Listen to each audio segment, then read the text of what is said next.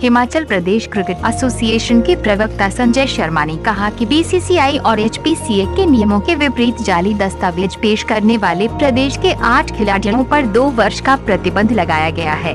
ये खिलाड़ी दो साल तक देश की किसी भी क्रिकेट एसोसिएशन की ओर से नहीं खेल पाएँगे। अब जब खिलाड़ियों का पंजीकरण नवीनीकरण हो रहा था तो उनकी धोखाधड़ी सामने आई। जाली आयु प्रमाण पत्र जमा करवाने वाले खिलाड़ियों में दो मंडी के हैं। इसके अलावा दो बिलासपुर, दो कुल्लू, एक चंबा और एक ऊना का है। हालाँकि ये खिलाड़ी एच की डे एकेडमी के खिलाड़ी नहीं थे, लेकिन एच के जिला स्तरीय टूर्नामेंट में सभी खिलाड़ी अपने जिलों का प्रतिनिधित्व करते थे। अब ये खिलाड़ी 2020 तक किसी भी प्रतियोगिता में भाग नहीं ले सकेंगे। वहीं एच प्रशासन इस बात की जाँच भी कर रहा है कि इनमें से कोई खिलाड़ी भारतीय क्रिकेट कंट्रोल बोर्ड में पंजीकृत तो नहीं है।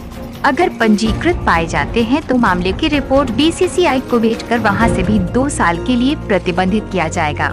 आयु प्रमाण पत्र में खिलाड़ियों ने उम्र की जगह कागज़ की चिप लगाकर अपनी मर्ज़ी के हिसाब से आयु लिखकर प्रमाण पत्र स्कैन करवा लिया और उसकी फ़ोटो कॉपी निकाल कर एच को दे दी।